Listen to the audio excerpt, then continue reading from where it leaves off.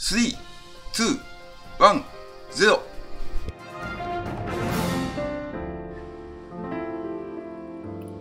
7月16日の朝、おはようございます。今日も世界一昆布が好きやから昆布屋やってます。店長の松下幸一郎が皆様の料理の味を劇的に美味しくできるお手伝いができるように頑張ってます。やればできる今日も昆布できる7月16日。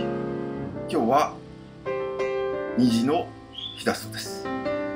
ところで虹ってなんだっけ？ダブル？それは二重わかった。20それも二重そんなことはどうでもいいのですが、今日も頑張ってまいります。即用志忍び草のご注文お問い合わせが増えてます。法事ギフトはお任せください。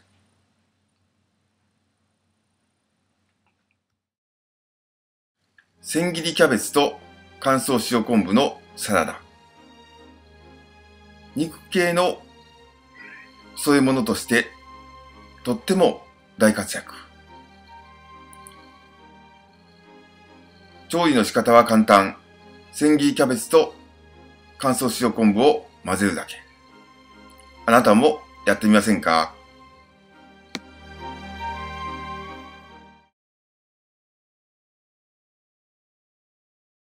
ちょ、まっちゃん。嬉しいことがあったから飲むって、あんた毎日飲んでるやんけ。